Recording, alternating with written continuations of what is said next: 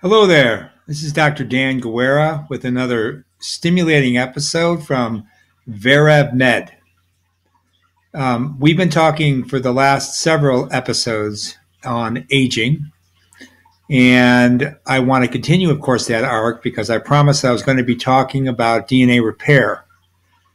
Right now, we're starting to get into more of the detail about what might be the potential mechanisms, the underlying cellular physiological, biochemical, genetic mechanisms that are actually responsible for aging in living systems.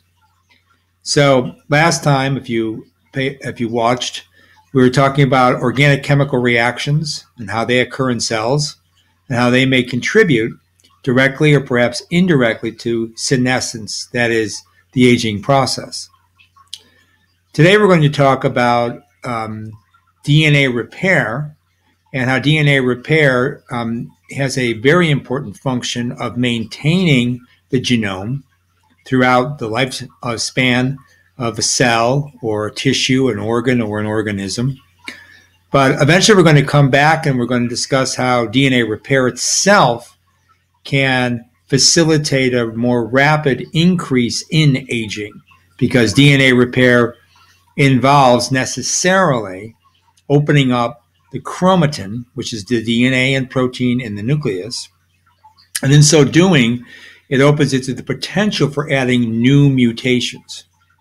So we have to cover both how repair works in the normal physiological sense, and then we have to talk about how repair can go wrong when senescence occurs, and indeed how repair continues to function even sometimes in the midst of making errors all of which then contribute to longevity, but also ultimately, perhaps, the demise at a specific age.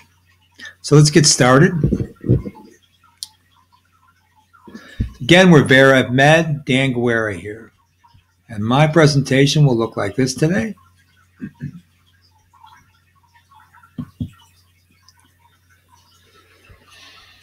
All right, so we're uh, filming this in late, well, actually uh, mid July 2017. By the time it gets posted, it might be a little bit later. And the general topic here is aging correlated to genome instability. So obviously, we're going to have to make some definitions here. We have to define what we mean by genome and instability. And we've done it in the past, but we'll do it again today. So let's get started with that. So, as a general introduction, this comes from a paper published around four years ago now in the Annual Review of Physiology. And we're just going to take a look at what I said here. What, what the paper tells us is that genome instability is linked to aging. It results from an alteration in gene expression as induced by mutation. The mutations themselves can then trigger a DNA chromatin repair However, that repair process, um, it being very useful, in fact, necessary to maintain the genome, ultimately can also be corrupted itself, the repair mechanism corrupted, and that can induce further mutation. Okay. So I made this little um, cartoon here. One of the concepts we have with genomes, with actually all of life is that it is um, in adhering to plasticity. So plasticity means that it's malleable. It means that it responds to um, outside or internal um, modifications, signaling, uh, nutrient supply. And we know this living systems are not a continuous thing like the machine I'm recording on. You don't plug it in, it stays on until you turn it off.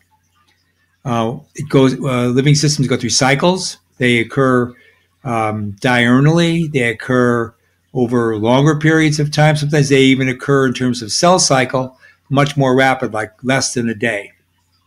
And depending on the organism, the cell, the tissue type, you're going to have varying rates of cellular differentiation, development, and terminal differentiation. And even when cells terminally differentiate, they have to express genes in the form of making proteins. And this is not a process that is either um, constant and um, non malleable, nor is it completely uh, stochastic, that is random. It involves a higher order regulation, which necessitates the gene expression to be on some kind of programmed determined interval, but which must be modifiable at a moment's notice. Hence the plasticity. So the organism doesn't know. So, like, say, a human, uh, where we evolved from, you know, a million, two million years ago, people that were foraging didn't know when they would get their next meal. So the body had to adapt to eating, gorging on a lot of food, say killing an animal and eating it, and then maybe not eating again for several days, particularly before there was such a thing as the invention of fire, right? So that means that it is an episodic uh, process at best.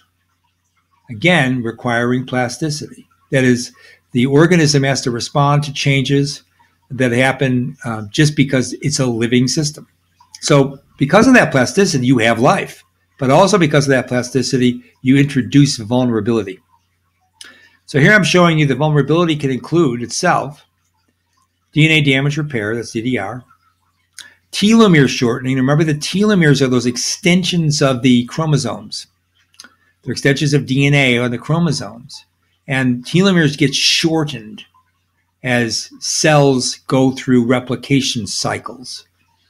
And there's a certain limit to how many times a cell can reproduce itself, that is, that, that is replicate, before the telomeres get so short that it introduces a tremendous amount of mutation to the fidelity of the DNA replication machinery. And that cell then is programmed to either senesce, which means it stops dividing for sure. It also slows down its metabolic activity. And then ultimately, of course, that senescence leads to cell death, necrosis, right? So telomere shortening is something like setting a clock, right? And that clock is ticking away. And eventually, if it's run on, say, a battery, that clock will tick right out. That's how telomere shortening is considered. Now, it's more complicated than that.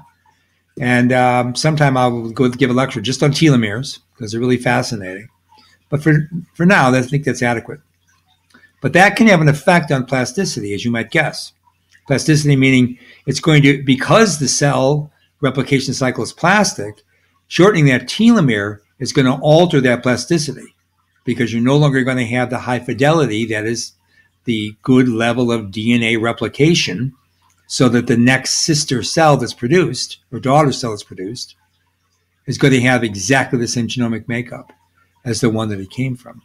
Right? So telomere shortening will affect that. Therefore, it's impacting on this plasticity, leading to, as you can see there, instability.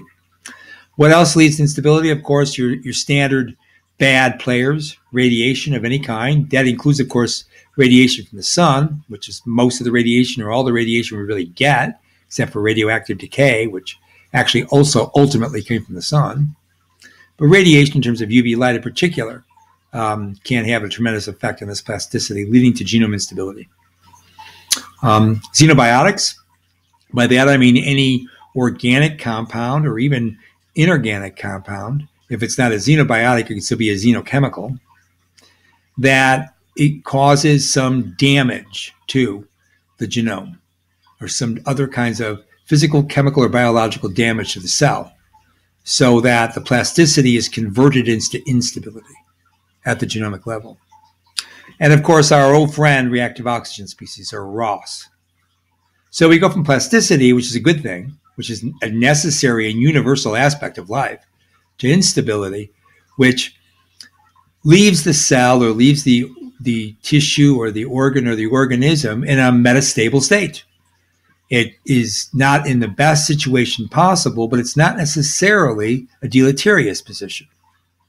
An unstable state can get a new order, and that new order will be a new level of stability. It'll still have to be plastic because it's a living system, but you won't necessarily incur any tremendous cellular damage caused because of it. Just depends on the level of instability, of course, the quality of it. That's what's going on with the instability. So it's complicated, like everything in biology is. But instability will turn on DDR. Now, DDR again is DNA damage repair. And I put that little M there because I'm saying that if you have an unstable genome, and because of that, you have to carry out a lot of DNA repair, the DNA repair process itself, because it's getting used a lot, right? It's getting used a great deal. Like, let's say you were you um, were a mechanic and you use your wrenches to fix, you know, cars. Well, those wrenches eventually wear out, right? Eventually, the wrench no longer grips that uh, uh, hex nut, and you have to get new wrenches. They get smoothed out. What's the similar thing with enzymes? And enzymes are involved in DDR, right? You can just imagine the kind of enzymes. In fact, we're going to see what they are. So when I put the M there, I'm saying that that's a mutated DDR or modified, if you like. So the DDR no longer is actually faithfully repairing the genome, it's actually introducing more instability. It could still be repairing, but at the same time, it's carrying with it baggage you don't want. Okay. So that's why I put the M in front of it. Now, what that will lead to in this, like, this is a negative paradigm here, you get what I call iatrogenic hyperinstability. Iatrogenic is a fancy word. All it means is it's caused by the therapy, right? It's caused by whatever the treatment is. Treatment here is DDR, that is DNA damage repair. So it's a term I kind of made up but I like it because I think it explains what's going on.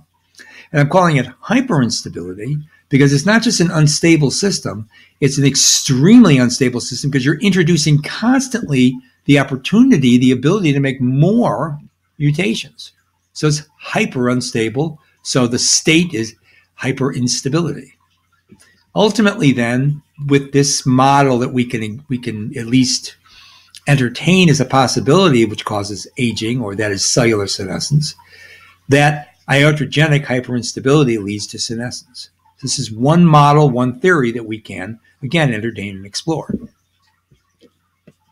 So, now I'm going to walk away from that DNA repair thing for a moment, but not really. I'm going to try to show you by focusing back out, taking the lens back out of that one very discrete thing, DNA repair. And I realize I haven't gone into detail with it, but I will very soon. But I want you to think about the nucleus itself. And remember, I said you can have physical, chemical, or biological corruption, going from you know that plasticity to that instability. Well, the physical corruption could just be the actual structure of the nucleus. Remember, that's where the chromatin is in the eukaryote. So there are proteins called lamins, and it's published here in Molecular Cellular Biology a couple years ago. They're looking at lamins and they tell us that lamins are associated with the structure of the nucleus. The structural proteins, right? Kind of like the scaffolding proteins that you make, that you need to make a frame, right? So it was demonstrated that the reduction, that is decreasing the amount of nuclear nuclear uh, um, expressed lamin B1. So the protein is actually nuclear uh, located. Okay. When you reduce the amount of lamin B1, it's just a certain isoform, via using a synthetic method, and a synthetic method is short hairpin RNA silencing. If you don't know that system, if it sounds really complicated or sounds weird, really all it is is making um, RNA molecules which have um, sequence homology to messenger RNA, which codes for protein. And it's a short hairpin because it's kind of what the structure looks like. It's like what a hairpin looks like, like a loop, but it's not. A, it doesn't have a lot of nucleotides. It only has a very small number of nucleotides. But that hairpin allows this shRNA to, because of sequence homology, to bind to a messenger RNA and flummox it cause it to no longer be expressed, can't be translated. So the short hairpin RNA is just a molecular tool, like so many we use in the lab, that allows us to silence genes. Why do we want to silence genes? Because we want to see what the genes really are doing. Okay, so we know what their sequence is, we know what the proteins are supposed to do, but you know, there, it, there's a whole lot of pleiotropy in proteins. They do one thing and you're following what they do, like say they're an enzyme, but that same enzyme could have four or five other functions, which could otherwise be a cult until you start monkeying with it, start altering its activity. And all of a sudden you say, wow, look, this protein does a lot of other things. So that's why you use something like a short hairpin RNA as a molecular tool. Okay, so when they use that to silence this lamin expression, great thing, great news, it stalled cancer cell cycle in the early S, that's the synthetic phase, that's DNA replication phase. And it and they determine that that happens because during DNA replication, there's something called a DNA replication fork. Okay, that's where nascent DNA is being made, so you can make um, a daughter strand of the DNA that started out, the diploid DNA. You open up, you have two strands, and you make daughter strands on there. So you have replication forks because the DNA opens up, makes a fork in the road. Well, when you decrease this lamin B1 production using shRNA, those replication forks fail to assemble. So obviously, what's that going to do? It's going to stop the cell from cycling, and you're not going to make a cell divide because you can't replicate the genome. See?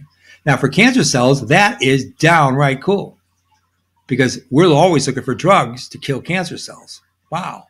So reducing this protein, if you can do it, and you know, you could use short hairpin RNA, kind of clunky way of doing things in vivo, but you might think about making, like, for example, a monoclonal antibody to lamin B1. If you could target that to cancer cells, look what happens. Huh. You stall the cancer cell cycle, which means that they no longer can reproduce, which means goodbye cancer. All right. So that's kind of like a, you know, a translational medicine reason why this is interesting, not just basic research. But it's always the case. It's always some idea you can get from basic research. Anyway, so double stranded DNA breaks from that replication fork collapse. And when that happens, they are it can be repaired. Okay? So introducing this lamin induced replication fork collapse means that you have to induce the DDR. Now, DDR in this system has a particular kind of mechanism, and that mechanism that they're looking at is either non homologous end joining or homologous recombination repair. Now, don't worry about that if you don't know what it means. It's a mouthful, but I will show you the mechanism carefully and discreetly, not in tonight's lecture, but in a subsequent one, and it will no longer seem unusual or weird or scary. Okay, just a, a mechanism that goes on with DNA metabolism. Look at it that way, just a macromolecular metabolic pathway. And this particular use of it is a repair mechanism. Anyway, using the homologous recombination DDR repair, we notice that it becomes corrupted. That particular mechanism is corrupted when lamin B1 is reduced. So not only, I mean, do you got this like cell cycle arrest, like that's like the big you know, pulling the camera out or getting up at 20,000 feet on top of a mountain to take a look at what's going on. But when you get down in the valley and say, what's really going on? Well, wow, this DDR isn't working. Okay. So that's kind of cool because if that's not working, if you're not getting repair, you see, then you're do, introducing, introducing so many mutations that DNA, it can't carry out, this fidelity gets shot down, can't carry out replication. So the cell dies. If it's a cancer cell, groovy. That's exactly what you want. Sorry, I use the word groovy. I don't normally use it, just came out. Anyway, this little bit of information. Okay, now the paper is elegant and excellent. I'm just, you know, synthesizing a few things about it here because I'm trying to make a point. But anyways, what the point is that this this paper here suggests that maintenance of this protein, this structural protein, lamin B1, is required for DNA replication and repair through the regulation of expression of key factors involved in those essential nuclear functions. So not only is lamin this structural protein, which seems kind of boring, right? It's like the girders or, you know, or the, or the structure for the house to build it, right? The framing of the house. It's that. But also when you corrupt that a little bit, look what goes on. No longer you carry out non-homologous joining or homologous recombination mediated DDR. So what happens to the cell? It's gone. Can't repair itself, dies quickly. Cancer cell, that's exactly good. If it's a healthy cell, whoa, that's not good, right? Because if you can't divide, um, you're only going to have a certain lifespan. And that certain lifespan of that cell, once it's done, it's done. If you can't replace that cell, eventually you'll have less cells in that tissue, less cells in that tissue, less function that that tissue performed, less function. Eventually, you can get organ failure, and then, well, what does that mean? Senescence, right? No longer doing what's supposed to do, and then ultimately death. Right? Okay, so that see brings it back, right? So you're thinking lamb, and how does that have to do with anything with DDR? Well, it does apparently. Okay, so Here's another case in point the pleiotropy of a protein. Lamin B1 somehow is affecting DNA replication. So who would have known, right? But here we go. We got evidence for it. So that's something I want you to keep in mind whenever we talk about any players or any proteins here. So we know that genome instability is a physiological consequence of basal chromatin plasticity, as I've just been saying. And along with that is the remodeling of chromatin. Remodeling just means opening up that uh, chromatin DNA so that you can replicate it, you can recombine it, or you can transcribe it. That's what remodeling means. I not the kind of word I would have used. Somebody came up with it, they liked it, and there it is, right? I don't see DNA or chromatin like, you know, remodeling a kitchen or a house, but somebody obviously did. So there's the, there's the terminology, like it or not. Anyway, both plasticity and remodeling kind of work hand in hand and they're coupled with chronic DNA damage. So this instability you get, okay, is because you have plasticity, and plasticity, a component of that is remodeling. So you have a you know a thriving living cell and has these normal features to it, but all of that can lead to chronic DNA damage. So what do I mean? Saying it again, physical, chemical, biological destruction of chromatin DNA. Chromatin DNA means DNA associating chromatin, which means there's proteins involved you get cohering, mutational, and epimutational consequences of this damage. That means when you get the damage, something coheres with it. That's what I mean by cohering, right? And what's cohering is a mutational system is brought in, right? Because of this damage repair. So that results in more unstable chromatin DNA structure. And that means the DNA damage repair mediates in this model system chromatin disorganization. So, what are DNA damage repair mutations? Where they all come together? So, let's define it. Damage is defined as deviations from the normal chemical structure of DNA, and that is distinct in a way from direct mutations. So, mutations, when you use the word mutation, that's a functional term, if you will. So, mutation is still damage, of course, right? But when you say mutation, it means you're altering the sequence. And what you know that reads out to, pun intended, the information content, right? The information content the DNA sequence has in it. Right. Okay. So DNA damage can involve spontaneous hydrolysis of the sugar phosphate backbone, for example. That can involve then alteration of the nucleotides or actually the nucleotide bases themselves. So that can involve depurination and depyrimidination. Now, pyrimidines are two different types of nucleotides, specifically C and T, and purines are the other two nucleotides. Maybe we only have four, and those are A and G, or adenine and guanosine. Okay, guanine. Okay, so that's an important thing to keep in mind. Spontaneous hydrolysis can occur, and you can remove bases, and that's what happens there. You can also get oxidation from ROS, for example, and that can, of course, involve all kinds of unusual chemical modifications of the DNA. I say myriad different chemical lesions. Sounds cool. So there are exogenous sources of this damage, which we mentioned already radiation, like UV light and ionizing radiation. Not something you normally get that ionizing radiation, but you can if you go to get a scan, for example. Um, but there are also a host of environmental mutagens which can be called xenobiotics if they're biological in origin. Uh, DNA repair mechanisms, which involve genome maintenance, right, taking care of business, keeping that genome maintained, are of course highly conserved in all eukaryotes and in fact in prokaryotes. And they are always continuously surveilling, monitoring genome for DNA damage.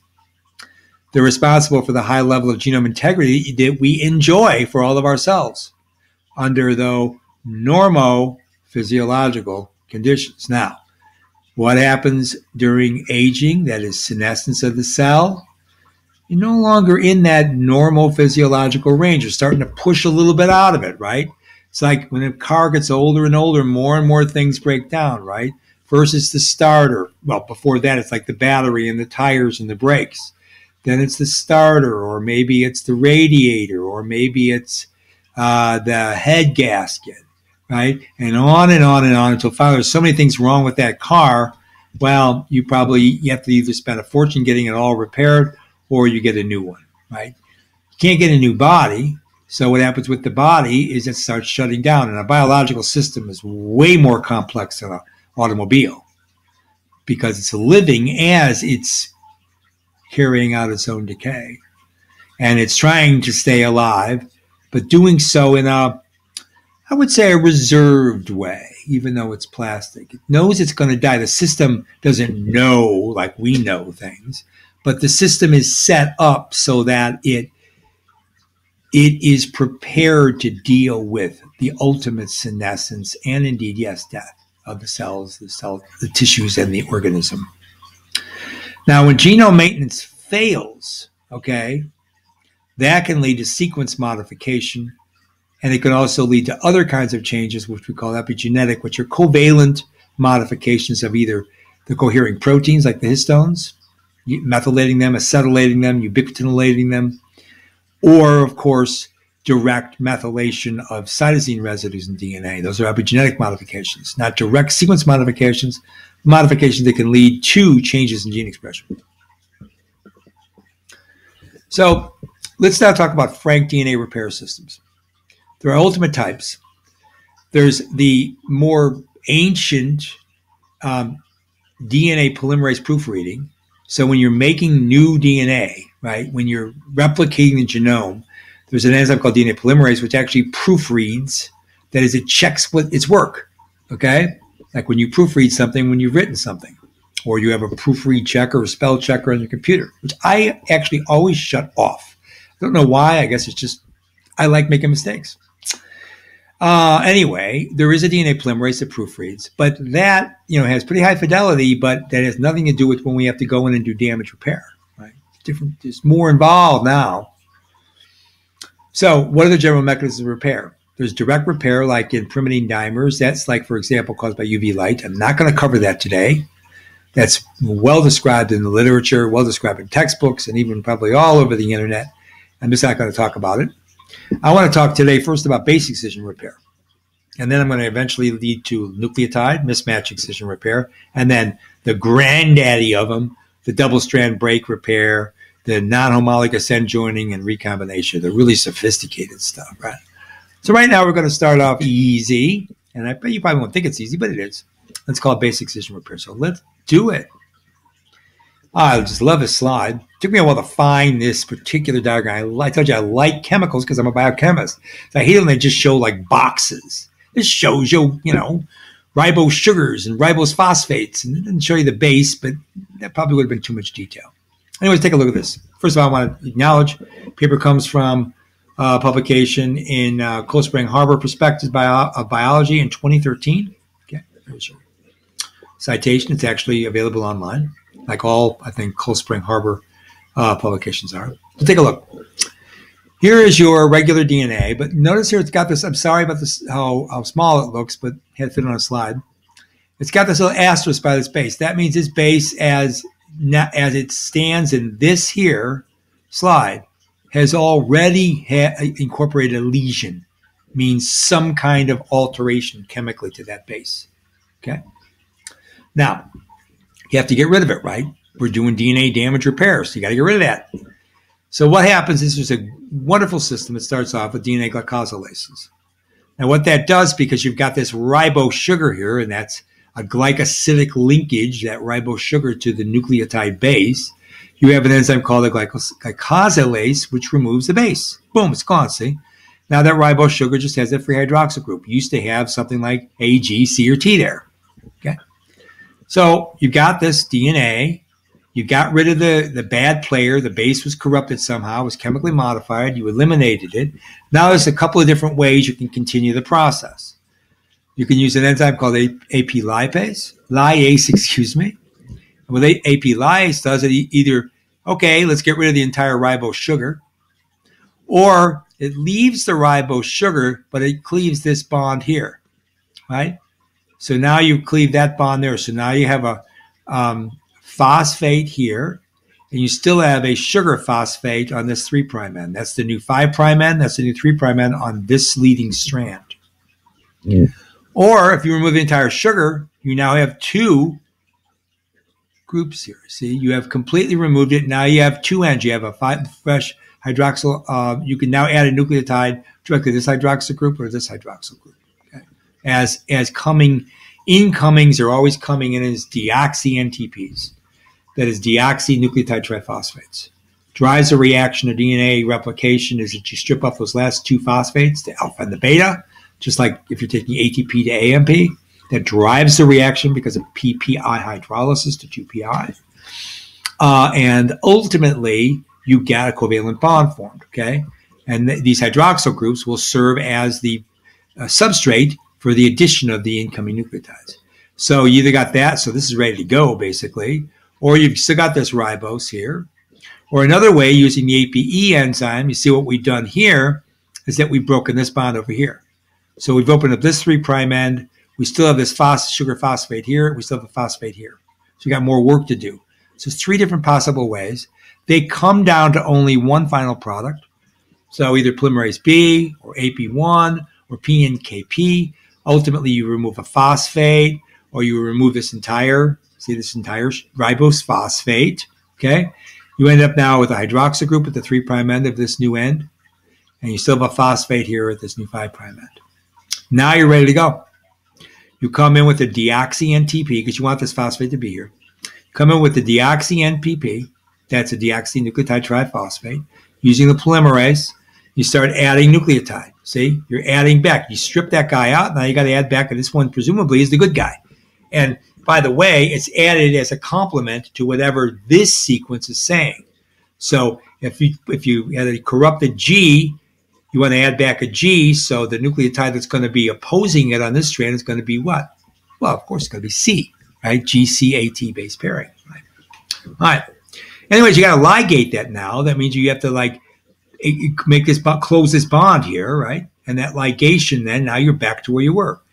Now we call that short patch base excision repair. Short because only one nucleotide shown here. Now, same kind of thing goes down if you have a whole bunch of corrupted nucleotides, which is supposed to be looking at here. Okay, because you could obviously imagine you could have a bunch of nucleotides that have been mutated. But here, all these enzymes come together, kind of like a poly protein polyenzymatic process. So that in new enzymes have to be used for this process, but you add in, in like oligonucleotides, and you're able to add all of the ruined nucleotides, all those mistakes, you add them back as a oligonucleotide, and you still end up with still back to where you were, a repaired genome. We just call that long patch because it's a longer patch of nucleotides. And it has different enzymes. Who would know that you would have had both of these mechanisms and all this detail? Well, now we do. So that's what all this says. Okay, you don't need to go through it, but there are five core steps: excision, incision, end processing. It's like polishing the ends so they become um, able to receive the incoming nucleotide. Then you get the repair synthesis. You have to get the introduction of the deoxy NTP. And then you got to fill that in and and ligate it. You have to close that wound, and now it's ready to go, and that genome should be fine. So that is um, base excision repair. Okay, I like this slide. And sorry it's small. Now let's think about this. Now let's go back to some generic understandings. Since react- reactive oxygen are chemically reactive, the oxidation can lead to all kinds of things: protein degradation, lipid degradation, of course, DNA-based lesions. It's one of the things reactive oxygen does. That's why antioxidants are used. Okay, why they're produced in the cell. So those kind of lesions, those oxidized DNA lesions, will result in structural changes to the DNA, and that means it has to be repaired, just like we just did. Okay, and we we did it with base excision repair. Now, what is one uh, example of that? Well, one is when you get a ring atom purine oxidation. So one of the atoms in the ring of that purine, this is going to be guanine, gets oxidized. And when it gets oxidized, you got problems because that means it's no longer the same chemical. So that means it's no longer the exact same nucleotide base, purine base in this case. So it's going to be potentially mutagenic. So that guanine derivative has a very special name and we see it a lot in mutational analysis. It's called 7-8 dihydro 8 oxoguanine, or short 8 oxo-G. Okay? So that is a mutated guanine in the nucleotide. Okay? In the DNA, if it's incorporated into the, into the DNA. Now, the 8 oxo-G lesion results in DNA polymerase mediated insertion of an adenine opposite to that 8 oxo G. Now, think about this. You had a G there, right? Good. G got corrupted. So you want to do something with that G. Okay, good. So you're going to want to get rid of it like we just did. We showed you how basic excision repair could do that. But whoa, wait a minute. It's going to go and it's going to do, it's going to insert an adenine opposite that. Now, is that right? Well, no because G pairs with not A, but with C. So see, you've already changed the sequence. You've made a point mutation, basically. And it's a specific kind, a transitional one, which I'll show you. All right. Now, that results in a disruption of DNA sequence. That may or may not have any effect. The sequence of that piece of DNA does not code for a protein, does not involve an enhancer element or a promoter or a termination signal or otherwise a um, site on the DNA that acts to receive a transcription factor, then might not matter. But enough of these lesions, and of course, not going to happen just one at a time, but thousands can happen. Then you're going to corrupt that DNA, you're going to, and you're going to make it unstable. And that's what we're talking about here. So it results in disruption of DNA sequence, and depending on the frequency, that's I mean how often, chronicity when it happens in the cell cycle, and where it is, very important, like if it's in smack dab in the middle of a gene or not. So in situ local, location or localization can cause dramatic phenotypic effects of somatic cells. In fact, can cause the cells to die, go through programmed cell death, kill themselves, they could look uh, toxic to the uh, immune uh, surveillance system, and the immune system goes in and kills it. T cells can kill it. Macrophages can go in and destroy it, um, chew it up. Neutrophils, um, B cells can generate, uh, or um, plasma cells can generate antibodies. The whole shooting match of immune responses can occur to that cell type. But also, you can simply just get senescence, right? If the cell has been damaged in some way, can't replicate, it's lost its fidelity, it's not ready to kill itself. It's not ready to be killed by the immune system. It's not toxic enough for that. So basically, it stops replicating, slows down, much less protein synthesis in its function because of that starts to fall away. It ages, if you will. So let's take a look at the repair of an 8-oxo G. I'm going to just have asterisk G here uh, for simplicity in this diagram. Now, this diagram, once again, borrowed it from the literature, of course. And this comes from a paper in Cold Spring Harbor, Perspectives in Biology, another 2013 paper, as it turns out. And again, this paper, I'm pretty sure, is um, uh, available online, uh, open access, I mean. Okay, so let's take a look at this. I realize it's getting dark and you may no longer see my image and I could turn on the light, but I'm so excited I want to get up from the desk right now. So let's take a look at this two possible ways you can get that corrupted guanine. One is you can just have the deoxy GTP. Remember, this is the substrate for DNA replication. So one substrate, it's the guanine substrate, reacts with reactive oxygen, and you make that 8-oxo-G right there. That's the substrate there before you even get it into the DNA. Now, if that happens and it gets incorporated because of replication, gets paired with A, which is not correct, right? Because that's supposed to be a T with an A. But you can repair it. So that whole process we just looked at here, this is a repair system. That MYH is, what, is the initial enzyme. That's the glycosylase. Okay, see? The OG protein and the MYH are both human DNA glycosylases. They got those names. You repair it though, and look what happens. The repair yields a mutation. Okay? Because you had a TA, you went to a GA, doesn't work. And so what happens is the G uh, um, now pairs back to a C. But you went from a TA to a GC. That's a mutation, right? So here you got a repair process that introduced a mutation in the process of trying to repair. That's no good. All right. Now, fortunately, there's an enzyme called MTH1. Now, that is a really beautiful name 8 oxo 8 dihydrodeoxyguanosine triphosphatase. And what that enzyme does, it hydrolyzes that 8-oxo GTP, deoxy-GTP to 8-oxo deoxy-GMP. And boy, you know what? That is not a substrate for DNA polymerase. So it's no good. It, it, no worry. I mean, you eliminated it. That enzyme, when it's active, way cool. You got rid of this damaged nucleotide precursor for DNA synthesis, and it never gets in there. Okay, so that's good. Now, what happens when you have the oxidation right in the DNA? Okay, the more, you know, equally or probably more common because the DNA is this huge macromolecule nucleus. So reactive oxygen again, we're going to use him as the bad player. You introduce this uh, 8-oxo-G right into now. This is in the DNA. You go through the repair process. That's the glycosylase reaction, right? And now you've got this G incorporated in there. Okay, that's a good thing. This this uh, mutated form can also replicate, right? And if it replicates, so if, if you didn't repair it like this with this glycosylase system, you replicate first. You're going to make this mistake, right? You're going to be adding A there. It's going to want to add that add to it, add an adenine there not supposed to be there, but this doesn't look like guanine anymore, you see. It's corrupted. However, still, you can go through the repair process, starting off with the glycosylase, and you're back to this. You still have that mutation, but you still have the correct uh, nucleotide base pair. However, if you replicate with the A in it, you get another mutation. See? So you can either have a GC mutation from a TA, or you can have a TA mutation. Okay? From a GC. So either way, okay, either way, depends on what side of the chromatin you're on.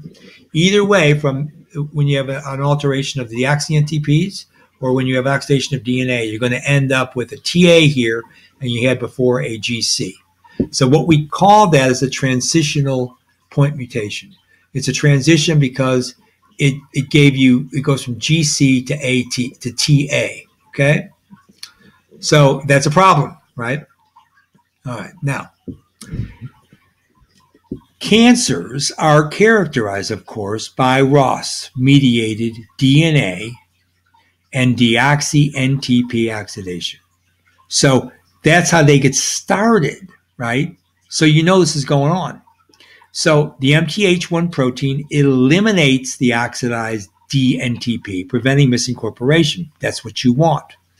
So, and, but but the deal is because you have those different pathways I just showed you, MTH is actually non-essential in normal cells because you have multiple ways of dealing with this. Because you got a repair system, you have a DDR, because you have a BER DDR. Okay, so MTH1 is non-essential. Means that you can knock that out, and it, your cells are still okay. Okay, so what's really cool though is cancer cells need MTH1. Host cells don't, cancer cells do, because they want to avoid the incorporation of all that oxidized deoxy-NTP because there's a lot more of it in the cancer cell. Cancer cell thrives on mutation to start out, but the more mutations it picks up, it's going to kill it, right? It can't replicate anymore. And that's kind of what you want. Once the cancer cell starts proliferating, dividing, the sooner you can stop it from proliferating, the better. Because if you just kill that cell lineage, that mutated cell lineage, that oncogenic cell lineage, that's what you want to happen. You stop it from becoming, for example, metastatic or invasive even. Okay. So inhibitors of MTH1 allow incorporation of oxidized NTPs into cancer cells. So if you inhibit that enzyme and you target that inhibitor to the cancer cell, it does, and even you don't have to because even if you eliminate or you intoxicate all the MTH, people person might show some signs from some intoxication, but you're not going to die from it because MTH1 is non-essential. So it selectively kills the cancer cells. So misincorporation damages DNA, and that results in cytotoxic cancer ablation. And that's a good thing. Right, here's another translational medical nugget. Now looking at MTH. Before was the Lamin, right? The Lamin B1, we looked at that, maybe making a monoclonal to that. Now we're talking about MTH1. This was in a paper published in Nature. Uh, again, was 2014, so about three years ago. And that's the citation. It's Nature, so it's behind the paywall. You'd have to have access to it to be able to read it. Okay, now let's get to a more important question here. Okay, we know that there are multiple types of DDR, DNA damage repair. I just went through just one of them, the simplest one, basic excision repair. So now we could ask the question where is BER most prominent when you're doing DDR? Well, I went, I didn't know that. I didn't know the exact answer to that. I had some ideas, but I found a paper, and the paper was in a journal called Mitochondrion. Who would know there's a journal called Mitochondrion? There is, and it's actually an excellent journal. And thank God uh, I was able to find, get a copy of this. So it's in 2014 paper. What does this paper tell us? This is very interesting. Key repair uh, mechanism in the central nervous system is BER. Now, why would that be? Because you got these other repair mechanisms, right? It's because recombination replication DDR mechanisms are not very robust in neurons. Why? Because neurons are terminally differentiated cells. I'm sure you've all heard this before. You get a you get you lose a lot of neurons, you're not really going to get them back, buddy, right? You know, you get hypoxia or you get anoxia in the brain for a couple of minutes, you get brain dead, right? Okay, well, that's why. Because you don't get neurogenesis. You get some new neurogenesis. Okay, that's been shown that the hippocampus support that. But those new neurons, they are not um, pruned and tailored. That is, the dendritic spines and the axon length have not been manufactured and altered in a way so that they automatically replace neurons that already have been in place for a very long period of time. Thank you. Generating those synapses, those trillions of synapses, which makes the brain what the brain is, and whatever level the brain translates to how the mind works. Right? Okay. So even if you might get neurogenesis, which is actually pretty paltry, uh, but has been shown to occur in hippocampus, um, doesn't matter. If you lose neurons, it's bad, right? All right. So that means neurons don't divide much. They, they, they stay around a long time. So that kind of repair process doesn't work. So instead of that, in your brain, BER is the main game. That's the point. Now that leads to some interesting sequelae. Where BER activate, activity decreases, then damage can exceed repair, of course. And that's characteristic, uh oh, in aging cells. It can result in programmed cell death, like apoptosis. It can result in senescence. That means the kicking back, lying back, lying down, aging of the cell. Or it can actually increase mutagenesis. Why? Because your BER activity is decreasing. You're not, you're not fixing things. You're not fixing all those damaged bases in the brain. And since that's your only game in town or your main game in town the brain, you lose that with aging. So that activity slows down. You lose that activity just by the chronicity of cell aging and probably also by overuse of it because of, say, damage inflicted episodically to the brain. And that, of course, would be the vagaries of the individual involved, right? Yeah. So BER is therefore critically protective of neurons. That's where it's really important. It operates in the nucleus, and presumably, though, here's a new idea. It also may operate in the mitochondria. Now, the mitochondria, as you know, is its own genome. I mentioned it many times in these talks and today, in fact. So BER works in both those organelles, although there's a twist here. Now, what's the twist? Even though neurons are terminally differentiated, mitochondrial replication that works by autonomous fission. So mitochondria replicate by fission, like bacteria. Weird, right? So the mitochondria go through their own cycles in a cell. You can have many, many mitochondria in a cell that has a lot of oxidative metabolism. But when oxidative metabolism decreases because of, say, damage caused by reactive oxygen, or because of aging, for example, or all kinds of other reasons, fuel economy, what fuel's there, fatty acid versus glucose in particular, you can lose mitochondria by mitophagy. That just means the, the mitochondria are eaten up. That's what phagus means to eat, right? So mitophagy. In fact, they, they kind of like um, turn inside out and disappear. So less and less mitochondria happen. But also mitochondria reproduce by fission. And that happens when you have more and more oxidative metabolism. You need more mitochondria, basically. Only other organelle that does is the peroxisome.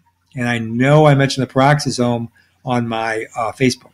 I'm going to deal with peroxisomes in this uh, arc of uh, aging you know, subsequently.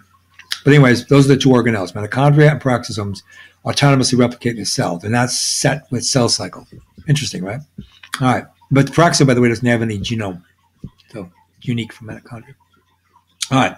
So that suggests that recombination repair might be more important um, and maybe autonomously functioning in neural mitochondrial DNA repair, while the neural nuclear DNA repair is dominated by basic excision repair. So see, like even within one cell, there's a division of labor. Nucleus, because the nucleus is terminally differentiated, so recombination isn't the genes that are involved in recombination and replication aren't there because you're not recombining and replicating there because those neurons are terminally differentiated. Not something those cells are supposed to be doing, right? If they do, what do you get? Well, not a neuron, but if it happens in the um, glia, you get glioblastoma, right? Not good. Brain tumor, right? All right. Anyway, so that's an interesting thing. You have maybe recombination repair dominant in the mitochondria in, in the neuron, but you have basic excision repair dominant in the in the um, nucleus of the neuron. That's a potential pharmacological targeting mechanism. Think about it. Now, here we go. Pretty important translational stuff here. Neurodegeneration implications. In both Alzheimer's and Parkinson's disease, some reports that I've looked at suggest that a 50% reduction in mitochondrial DNA is apparent in those neurons. That's a big whopping decrease in DNA content, mitochondrial DNA content. Yeah.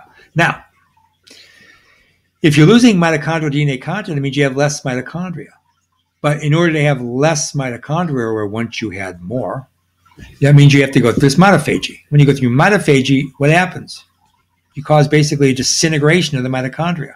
Disintegration of mitochondria means you're going to lose, first of all, all the biological activity that mitochondria has, but something else is going to be generated. Toxic end products, we'll call them for this point from right now. But in a minute, I'll, you'll see what they are. So mitochondrial DNA decrease would then diminish outright, frankly, the electron transport chain oxidative phosphorylation delivery of ATP, delivery meaning what it produces. That's going to lead to senescence or cell death. If those cells don't have enough ATP, they can't carry out their normal function. They're going to go senescing. And if they still have less and less and less, they will die. Right? So you get senescence, necrosis of what? Neurons. Not good, right? And that's all wrapped up because of mitochondrial DNA, right?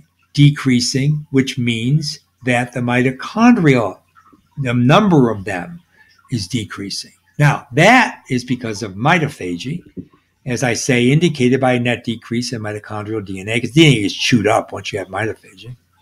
And so, the, what else happens because you're de- demolishing mitochondria? Remember, mitochondria have all of these intermembrane proteins that are involved in the electron transport chain. And what are those proteins? There are a bunch of oxidases, cytochrome containing, heme containing oxidases. What do they have in them? To be a heme, be a good, healthy heme, they have metals, right, in the porphyrin ring. What are the metals? Iron and copper. So when you're when you're going along, you know, bagging, destroying your mitochondria, right? The mitochondria are de- decreasing in uh, content, less of them and less of them in those neurons, right? Less and less energy production. Uh, what happens also is you're releasing a lot of copper and iron. Now, free, even submicromolar Cu2, That's the oxidation state of Cu. That's cupric ions. And iron, either as ferrous or ferric, strongly inhibit DNA glycosylases. Just those metal ions.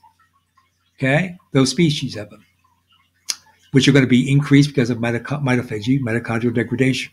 Right? So if they inhibit DNA glycosylases, they will inhibit BER. You won't, in other words, the, the basic excision repair won't work. Remember, the glycosylases are like front and center, the enzyme that starts the whole process. So you don't, you get a decrease in basic excision repair mediated DDR, the DNA damage repair, in neurons in the aging brain. That is all really bad news.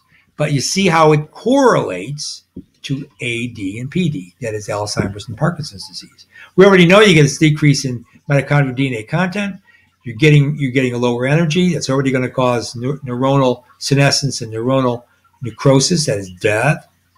But also, to add insult to injury, you're going to be inhibiting the very enzymes that will allow DNA repair for those cells that still have right a nucleus, the cells that are still thriving, all those other neurons. So you're going to start diminishing because of this ion, these ions being generated, because you're going to start corrupting. they're going to start corrupting nuclear DNA repair. You see, because that's where the BER matters. Bad news, right? So there are actually multiple reports on single nucleotide polymorphisms. That just means individual nucleotide like point mutations in BER enzymes in neurodegenerative diseases. Like that's even worse.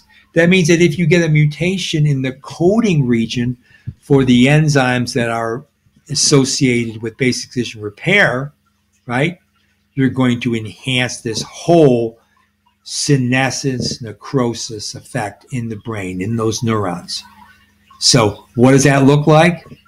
That looks like a lot of our dementia associated mainframe diseases, neuropsychiatric diseases, Alzheimer's, and Parkinson's. So you see, another thing to worry about. Or not worry about, another thing to be aware of, right? Sure. All right, so we're going to stop here. Hopefully, uh, you don't mind the fact that my image got really dark. Doesn't matter, anyways. You, need, you don't need to look at me. Um, but I am Dan Guerra, and you just heard a lecture on basic excision repair involved in aging in humans.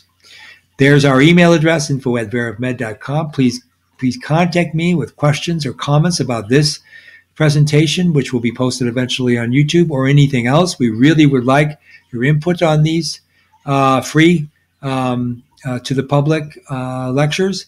And also, of course, we would very much like to work with you at VerEvMed for your particular research problem. There's our website. Please go to the website. We have a lot of beautiful things that you can look at there and you can see what we do in more detail. And remember that we are scientists. We're not medical doctors. We are scientists. And our work is to verify published evidence in medical and other biosciences. So thanks a lot for your attention and goodbye.